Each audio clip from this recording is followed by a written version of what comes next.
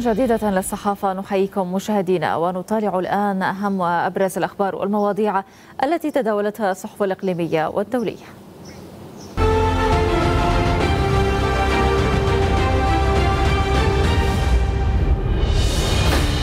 ذكر بيان للتحالف الدولي الذي تقوده الولايات المتحدة أن قوات التحالف اعتقلت اليوم الخميس قائدا كبيرا في تنظيم داعش الإرهابي خلال عملية في سوريا. هذا أبرز ما تناولته الصحف الصادرة اليوم والبداية سوريا من موقع العين الإخباري الذي عنونه التحالف الدولي يعتقل قائدا كبيرا بداعش في سوريا. أعلن التحالف الدولي ضد داعش اعتقال قائد كبير في التنظيم الإرهابي أثناء عملية في سوريا وجرى تنفيذ العملية العسكرية في الساعات الأولى من صباح اليوم الخميس وكشف بيان التحالف أن القيادة أو القيادي الداعشي المعتقل خبير في صناعة المتفجرات والقنابل قبل أن يصبح أحد كبار قادة التنظيم في سوريا. وبحسب المرصد السوري لحقوق الإنسان فإن عملية الإنزال الجوي تمت في ريف حلب الشمالي وتحديدا قرية الحميرة وتبعد قرية الحميرة عن الحدود التركية نحو أربعة كيلومترات حيث هبطت مروحيتان قرب الموقع المستهدف. ووفقا للمرصد السوري فقد دارت اشتباكات بالأسلحة المتوسطة بين مجهولين ضمن منازل بالقرية أثناء مطاردتهم من قبل عناصر التحالف الدولي. وأقلعت طائرات مروحية تابعة للتحالف من قاعدة لافارج في ريف عين العرب كوباني بعد أن هبطت مساء الأربعاء واتجهت نحو مناطق نفوذ الفصائل الموالية لتركيا في ظل تحاكي عملية مقتل البغدادي وخليفته القرشي في إدلب. ونقرأ في صحيفة القدس العربي التي عنونت. روسيا تنتظر توضيحات من إسرائيل بشأن غارة مطار دمشق. أعرب الممثل الخاص للرئيس الروسي للشرق الأوسط وأفريقيا نائب وزير الخارجية الروسي ميخائيل بوغدانوف في لقاء مع السفير الإسرائيلي لدى موسكو ألكسندر بنسيفي عن قلقه إزاء الغارة التي استهدفت مطار دمشق الدولي مؤخرا مؤكدا أن تبريرات الجانب الإسرائيلي الغارة غير مقنعة وأن موسكو تنتظر توضيحات إضافية ووفقا لبيان نشر على الموقع الرسمي لوزارة الخارجية الروسية في أعقاب اجتماع عقد في موسكو. فقد تم الإعراب عن القلق الشديد إزاء هجوم القوات الجوية الإسرائيلية في العاشر من يوريو يونيو حزيران على مطار دمشق المدني. والذي ألحق أضرارا بالمدرج ومعدات ومباني الملاحة وألحق أضرارا بالحركة الجوية المدنية الدولية. وتسببت الأضرار الناتجة عن الضربة بتعطيل عملية إيصال المساعدة الإنسانية التي تقوم بها خدمات الطيران التابعة للأمم المتحدة إلى ملايين السوريين. أيضا نشرت صحيفة العرب الجديد مقالا للكاتب عبد اللطيف أسعد تحت عنوان لم تنتهي اللعبة في العراق بعد قمة الاستعصاء السياسي في العراق هي الدوران حول المشكلة والعجز عن القبض عليها. عشرون عاما والعراق غارق في مشكلاته. وكل مشكلة تلد الأخرى والذين يتصورون أن الحل كامن في قدرة هذا الطرف المحلي أو ذاك واهمون لأن ثمة قوى دولية وإقليمية بعضها يعمل في السر وبعضها في العلن. وكلها ليست لها مصلحة قائمة في إيجاد الحلول التي تلبي طموحات العراقيين وتطلعاتهم. بل لو توفرت هذه الحلول بقدرة قادر ستجهز عليها هذه القوى وتفشلها لأن مصلحتها هي في بقاء الوضع على حاله وربما يتوافق مع أهدافها الاستراتيجية في المنطقة. أما الصراعات والخلافات بين الأطراف المحلية فليست سوى مناورات بائسة وأحيانا شرسة ويظل موضوعها الكعكة وكيفية اقتسامها.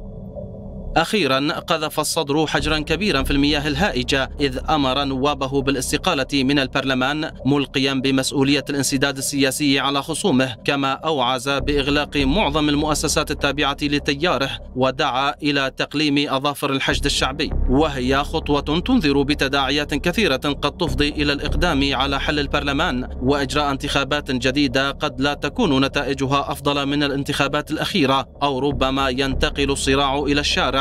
وهو ما توقعه خصمه نور المالكي نفسه ما يعني المزيد من إراقة الدم خصوصا أن ردود الأفعال لدى المواطنين العاديين في سيولة لا تعرف التوقف. هذا كله لا يصنع صورة لمستقبل وردي إنما يزيد المشهد الماثل عتمة وسوادا لكنه في الوقت نفسه يكشف لمن ما يزال يحسن الظن أن اللعبة لم تنتهي بعد وأن الحال لن يكون أفضل ربما حتى لسنين مقبلة وقد يجر إلى وضع العراق على شفا التفكيك الذي بانت ملامحه في الأفق خصوصا أن أطرافا محلية باتت مقتنعة بأن الأوفق لبلد مثل العراق أن يقسم وأن يأخذ كل طرف حصته. تغذي هذه القناعة جهات دولية وإقليمية. لا تريد لهذا البلد أن يعود إلى موقعه المؤثر والفاعل على صعيد المنطقة والعالم.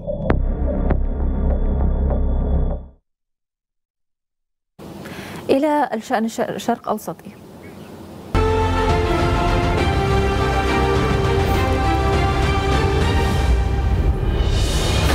صحيفة العرب اللندنية عنونت القضاء العراقي. يفتح ملف الشركات النفطية الأجنبية في كردستان. تعقد محكمة عراقية مختصة بالنظر في القضايا التجارية في العشرين من الشهر الجاري جلسة للنظر في شكاوي تقدمت بها وزارة النفط الاتحادية ضد سبع شركات أجنبية تعمل في قطاع النفط والغاز في إقليم كردستان خارج محددات الدستور العراقي. وحسب مصادر في المحكمة العراقية فإن قاضي المحكمة التجارية أرسل عبر البريد عريضة الدعوة للشركات بالمثول أمام المحكمة أو إرسال من ينوب عليه عنها خلال الموعد الجديد المحدد في العشرين من يونيو المقبل وأظهرت وثائق مسربة من وزارة النفط الاتحادية.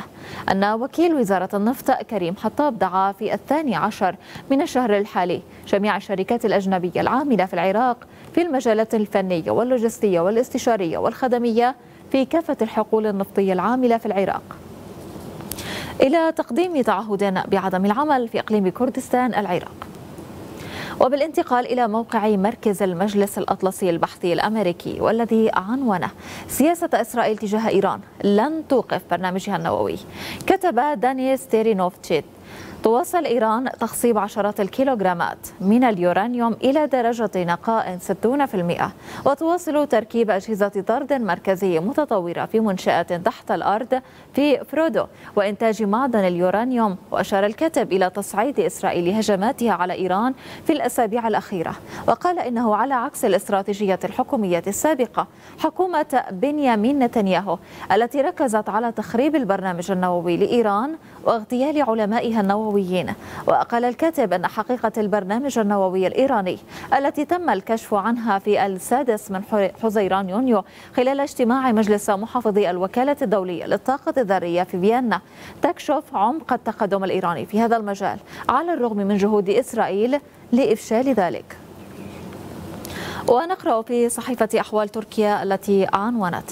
تركيا بحاجة لسياسات عقلانية كتب عبد الباقي أردغوموش إن أهم سبب يجعل النظام الاستبدادي ونظام الرجل الواحد جذابا ويضمن قبوله الاجتماعي هو بلا شك الاستخدام التعسفي أو الشبيه بالمافيا لسلطة الدولة دون التقيد بالقانون بدلا من تسهيل التحول تعزز التدخلات والضغوط الخارجية. طاعة النظام الاستبدادي والقادة. لقد رأينا أمثلة في العراق وسوريا في تاريخنا الحديث. في تركيا نرى أن الممارسات السلطوية لا تعترض عليها الأغلبية رغم أنها تلحق الضرر بالشرف الاجتماعي وتلوث حتى الضمير النظيف. يقع على عاتق كل حزب سياسي المسؤولية الديمقراطية لتحقيق أهداف سامية مثل القضاء على انتهاكات الحقوق وإقرار الحقوق والحريات الأساسية وإقرار المساواة والعدالة وإقرار السلام والقانون وضمان الرفاهية الاجتماعية على الرغم من ذلك. يحزنون أن نرى هذه القيم خارج التداول تقريبا لأنها لا تجد استجابة اجتماعية. أيضا شرق أوسطيا نشرت صحيفة أندبندت عربية مقالا للكاتب أحمد مصطفى تحت عنوان هل تتصاعد حرب الاغتيالات بين طهران وتل أبيب؟ كان تقرير لصحيفة نيويورك تايمز الأمريكية الثلاثاء أشار إلى أن إيران لا تستبعد مسؤولية إسرائيل عن مقتل اثنين من العلماء الإيرانيين عبر دس السم لهما. واعتبرت الصحيفة أنه إذا ثبتت صحة الشكوك الإيرانية فإنها أحدث نتائج الحرب الخفية التي تشنها إسرائيل داخل إيران التي زادت وتيرتها مع اقتراب طهران من امتلاك أسلحة نووية بحسب ما تقول إسرائيل. وما زاد من تلك الشكوك حتى وإن لم تعلن إيران رسميا اتهام إسرائيل بتلك العمليات ما تنشره وسائل الإعلام الإسرائيلية عن المستهدفين وأن أغلبهم من كتيبة الأقصى في الحرس الثوري الإيراني ومنهم أيضا جنرال في الحرس الثوري تعتبره تل أبيب مسؤولا عن عملية استهداف مواطنيها ومصالحها في الخارج. وتوفي العالمان أيوب انتظاري وكامران آغا مولاي مطلع هذا الشهر بعد ظهور أعراض ما يمكن أن يكون تسمما من الطعام أو الشراب ووصفت وفاتهما بأنها تمت في ظروف غامضة. وقالت نيويورك تايمز إذا صحت الشكوك الإيرانية بأن حالات الوفاة هذه وغيرها مدبرة فإنها ستكون بمثابة حرب خفية بين إيران وإسرائيل. يحاول فيها الطرفان استهداف بعضهما البعض مع الالتزام بأكبر قدر من السرية لتفادي الدخول في حرب مباشرة. وعلى الرغم من أن إسرائيل أيضا لا تصرح رسميا بقيامها بتلك العمليات فإن حادثتي التسمم يمكن اعتبارهما نادرتين. على الرغم من أن جهاز الاستخبارات الإسرائيلي الموساد سبق واستخدم تلك الوسيلة في اغتيال العالم النووي الإيراني البارز أردشير حسين بور عام 2007 ومع أن تل أبيب لم تعلن مسؤوليتها إلا أن أجهزة الاستخبارات الأمريكية أكدت أن حسين بور كان على قائمة المستهدفين من قبل إسرائيل. ومع زيادة التصعيد في تلك الحرب الخفية تخشى تل أبيب من استهداف عملاء إيران للإسرائيليين في تركيا. لذا نصحت مواطنيها قبل يومين بعدم السفر إلى تركيا. ومن هم هناك بأنهم يواجهون خطرا حقيقيا وآنيا من قبل عملاء إيران. وحث وزير الخارجية الإسرائيلية إير لابيد الإسرائيليين في تركيا على العودة فورا مشيرا إلى إحباط عدة عمليات لاستهدافهم في إسطنبول.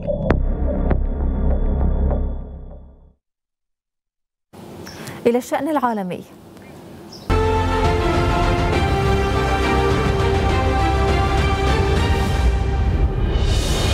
عالميا صحيفة موسكوفسكي كومسوموليتس الروسية عنونت. صفقة كبيرة لماذا يأتي ماكرون وشولتز إلى زيلينسكي كتب ريان تابدولين. ذكرت الدورية الإيطالية لا ستامبا أن ماكرون وشولتز ورئيس الوزراء الإيطالي دراغي سيتوجهون إلى كييف للقاء زيلينسكي في السادس عشر يونيو. وعلى الرغم من عدم وجود تأكيد رسمي لهذه المعلومات حتى الآن إلا أنها تبدو معقولة. وكما أشار رئيس قسم الأمن الأوروبي بمعهد أوروبا التابع لأكاديمية العلوم الروسية ديمتري دانيلوف في محادثة مع موسكوفسكي. كومسوموليتس فإن أهداف زيارة دراغي وماكرون وشولتز المحتملة إلى كييف قد تكون سياسية بحتة وذات صلة بعملية التقارب الجارية بين أوكرانيا والاتحاد الأوروبي وبحسبه أولا يحتاج القادة الأوروبيون من حيث المبدأ إلى إظهار دعمهم باستمرار لزيلينسكي. وثانيا الحديث يدور الآن عن إمكانية منح أوكرانيا صفة مرشح لعضوية الاتحاد الأوروبي. وهناك في الوقت الحالي حالة من عدم اليقين في الاتحاد الأوروبي بشأن هذه المسألة ويتفهم القادة ذلك. وبالانتقال إلى صحيفة الشرق الأوسط التي عنونت. مسؤولون غربيون يتحدثون عن ثلاث سيناريوهات للصراع في أوكرانيا. يواصل المسؤولون الأوكرانيون حض الشركاء الدوليين على إرسال مزيد من الأسلحة خصوصا المدفعية الثقيلة والصاروخية. ويتوقع المسؤولون الغربيون ثلاث سيناريوهات لشكل الصراع في المرحلة المقبلة. الأول هو أن تواصل روسيا تحقيق مكاسب متزايدة في شرق أوكرانيا. والثاني حدوث جمود في المعارك ووصولها لطريق مسدود. قد يستمر لأشهر أو سنوات مما يؤدي إلى خسائر فادحة. في كلا الجانبين واستنزاف الاقتصاد العالمي. والثالث يعده المسؤولون ليس أكثر من تمن في الوقت الحالي وهو إعادة روسيا تحديد أهدافها الحربية والإعلان عن تحقيقها النصر ومحاولة هندسة القتال لكن المسؤولين الأمريكيين يخشون بشكل متزايد من أن تعزيز القوات الروسية وجودها في شرق أوكرانيا قد يشجع الرئيس الروسي فلاديمير بوتين على القيام بتوغلات جديدة في مناطق أخرى. ونقرأ في صحيفة أندبندت عربية التي عنونت. مواجهة بين حكومة جونسون وأوروبا على طريق رواندا. كرر وزراء الحكومة البريطانية تصميمهم على المضي قدما في برنامج ترحيل اللاجئين الذين يدخلون البلاد بشكل غير شرعي إلى رواندا على الرغم من قرار محكمة أوروبية وقف أول رحلة كان مقررا أن تغادر مساء الثلاثاء. وكان مدافعون عن حقوق الإنسان ونشطاء حقوقيون خسروا دعوة أمام المحاكم البريطانية الاثنين حيث قالت المحكمة العليا في لندن. بأن الرحلة يمكن أن تتم وسارع هؤلاء إلى استئناف الحكم والتقدم إلى المحكمة أو محكمة حقوق الإنسان الأوروبية للحصول على حكم مستعجل. أدى إلى وقف الرحلة بينما كانت الطائرة تنتظر بالفعل على أول الممر في مطار عسكري قرب لندن. وفي كلمة لها أمام مجلس العموم البريطاني قالت وزيرة الداخلية بريتي باتيل أن التجهيزات للرحلة التالية بدأت بالفعل مؤكدة عزم الحكومة على الاستمرار في برنامج ترحيل اللاجئين غير القانونيين إلى رواندا. وفي الشأن العالمي نشرت صحيفة الخليج الإماراتية مقالا للكاتب مفتاح شعيب تحت عنوان نموذج فرنسي للتغيير. الفرضيات التي تم الإعلان عنها مع اندلاع الأزمة الأوكرانية جراء العملية العسكرية الروسية والتأكيد على أن هذا الحدث له ما بعده في العالم وفي أوروبا على وجه التحديد. ها هي تجليات التغيير تتوالى في أكثر من بلد وما أفرزته نتائج الانتخابات التشريعية الفرنسية في جولتها الأولى خير مثال. وتأكيد الرئيس إيمانويل ماكرون أن بلاده دخلت في اقتصاد الحرب. دليل آخر على القطع مع ما كان سائدا قبل الرابع والعشرين من فبراير شباط الماضي. قبل القرار الفرنسي صادقت ألمانيا على خطة بنحو 100 مليار يورو لتطوير قوات الجيش لتكون قادرة على مجابهة التحديات العسكرية المستجدة. وبموازاة ذلك هناك أوضاع اقتصادية واجتماعية تتدهور جراء معدلات التضخم غير المسبوقة منذ عقود وموجة الغلاء العاتية التي بدأت تؤثر في التوجهات السياسية والفكرية وكأنها تمهد لبلورة نخب جديدة تواكب كل هذه المستجدات والتغيرات وهو ما تبرهن عليه الصراعات الحزبية ونتائج الانتخابات في القارة العجوز. الأزمة العنقودية التي أحدثتها الحرب في أوكرانيا ما زالت في بدايتها كما يبدو وهذا الصراع ضربت هزاته الارتدادية العالم أجمع وما زالت تتوالى وخسائرها بلا سقف في شتى الميادين. وفي فرنسا باعتبارها دولة محورية في أوروبا فإن تقارب نتائج الجولة الأولى من الاقتراع التشريعي بين التحالف اليساري بزعامة جان لوك ميلانشون وتحالف معا بقيادة ماكرون يشير إلى أن المشهد السياسي الفرنسي استجاب سريعا للتحولات العالمية الجارية جراء الأزمة الأوكرانية. وإذا حازت القوى اليسارية المتحالفة الأغلبية المطلقة سيكون ميلانشون أول زعيم يساري راديكالي مرشحا قويا لرئاسة الحكومة الفرنسية. وسيجد سيد الإليزيه مشاكل في التعامل معها. لكن الوصول إلى هذه الحالة سيكون نقطة تحول تاريخية وإذا ما اتسع نطاق الأزمات والتداعيات المتسببة لها ستصبح ظاهرة لن تتراجع بسهولة. كبار صناع القرار في العالم والخبراء السابقون مثل وزير الخارجية الأمريكي الأسبق هنري كيسنجر. يؤكدون واثقين بأن العالم الذي ألفته هذه الأجيال يتغير بسرعة مذهلة ويواجه مرحلة صعبة قد تقود إلى حروب وصراعات.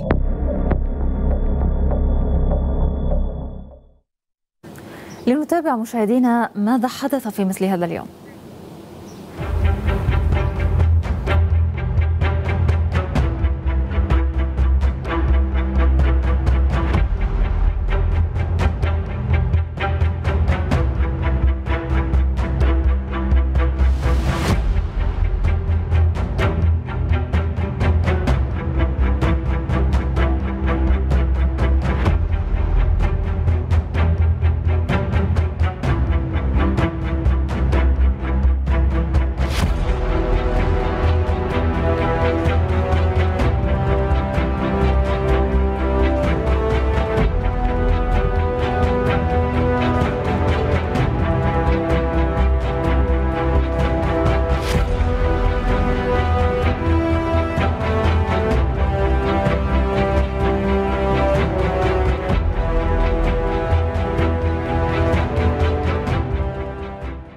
والآن نقف للحظات عند محطات أخبارنا المنوعة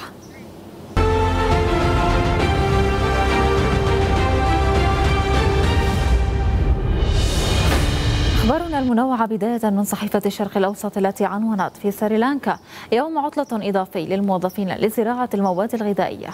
قالت الحكومة السريلانكية أنها أقرت أربعة أيام عمل في الأسبوع للعاملين بالقطاع العام لمساعدتهم على التكيف مع نقص الوقود وتشجيعهم على زراعة مواد غذائية في حين تواجه الحكومة أسوأ أزمة مالية منذ عقود. وتضررت سريلانكا التي تعمل أو يعمل نحو مليون موظف بقطاعها العام من نقص حاد في العملة الصعبة. تركها غير قادرة على توفير واردات أساسية مثل الوقود والغذاء والدواء. وحذرت الأمم المتحدة الأسبوع الماضي من أزمة إنسانية وشيكة وتعتزم تقديم 47 مليون دولار لمساعدة أكثر من مليون شخص معرضين للخطر. ودفع تراجع قيمة المعاملة وزيادة أسعار السلع العالمية أسعار المواد الغذائية للارتفاع بنسبة 57% بأبريل نيسان. ونبقى في أخبارنا المنوعة. استخدم الإسبان جميع الوسائل الممكنة للتغلب على موجة حارة مبكرة تجتاح البلاد. موجة حارة مبكرة تجتاح إسبانيا ولم تشهدها البلاد في هذا التوقيت من العام منذ أكثر من أربعين عاما. وللتغلب على درجات الحرارة المرتفعة استخدم الإسبان جميع الوسائل الممكنة بدءا من المراوح الكهربائية وأجهزة التكييف إلى حمامات السباحة. وقال خبراء في مكتب الأرصاد الجوية الإسبانية إن سحابة من الهواء الساخن من شمال أفريقيا تسببت في ارتفاع درجات الحرارة وإن الموجة الحارة قد تستمر في معظم أنحاء إسبانيا حتى السادس عشر أو السابع عشر من يونيو حزيران. قبل أيام قليلة من بدء الصيف رسميا في الحادي والعشرين من يونيو حزيران. ومع ارتفاع درجات الحرارة إلى أكثر من أربعين درجة مئوية في أجزاء من وسط وجنوب إسبانيا فإن الموجة الحارة الحالية هي أول موجة مبكرة مسجلة في مثل هذا التوقيت منذ عام 1981 وفقا لمكتب الأرصاد الجوية الحكومية. وأصدر المكتب تحذيرا يقول إن الشعور بالموجة الحارة قد يكون أسوأ في جميع أنحاء البلاد بسبب وجود الرمال والغبار القادم مع الهواء من الصحراء الكبرى. وقال عامل بناء يدعى بول فرانسيس إنهم يواجهون درجات الحرارة المرتفعة بالمواظبة على شرب الماء لكنهم لا يعرفون كيف يتعاملون معها. خاصة وأنها من المحتمل أن ترتفع أكثر. ومن المنتظر أن تصل درجات الحرارة في المقاصد السياحية الشهيرة مثل إشبيلية وقرطبة إلى 43 درجة مئوية في الأيام المقبلة. وعادة ما تصل درجات الحرارة فيهما إلى 40 درجة خلال أشهر الصيف. وتميز العام الماضي بدرجات حرارة غير معتادة في إسبانيا حيث أصابت العاصفة الثلجية فيلومينا البلاد بالشلل في يناير كانون الثاني مع انخفاض درجات الحرارة إلى 21 تحت الصفر بالإضافة إلى موجات حارة قياسية في أغسطس آب.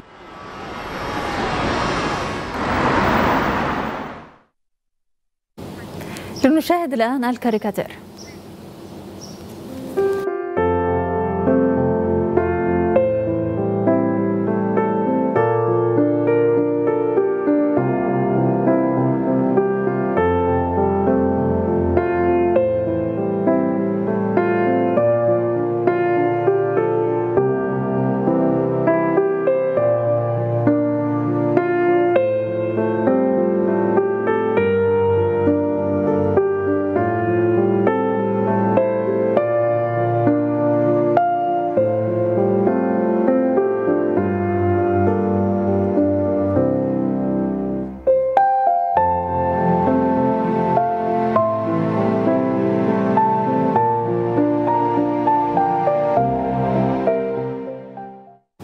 نختتم معكم جولة الصحافة مشاهدينا شكرا لكرم المتابعة وبالإمكان زيارة موقعنا الرسمي اليوم تي في دوت نت. إلى اللقاء.